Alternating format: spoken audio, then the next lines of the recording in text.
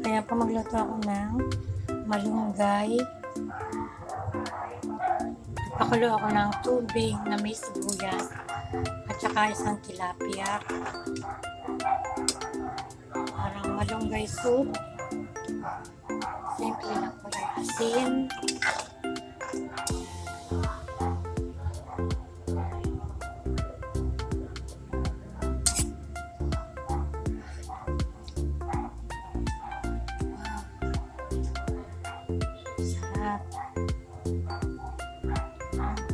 Lalagyan na natin ng